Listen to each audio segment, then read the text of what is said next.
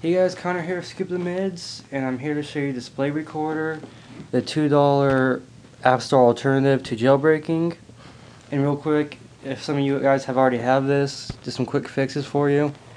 If you want to get rid of that red bar up top that shows that you're recording, go to Display Recording, Record Type, and change the video only. Doing that will also make it so you can record videos and, I mean, apps of your video games and stuff without having it crash on you. And also, it's just really good. And if you just can't record apps at all, change capture method to screen capture. That way, it makes it laggier, but you can actually record your games and stuff now. And as you can tell, it records the screen fairly real time. And then you can launch apps and all that and everything. It's pretty good. I'm just trying to make it quick and brief here. And it's a great app. $2 app, so check it out. And if you're into that, if not, then yeah.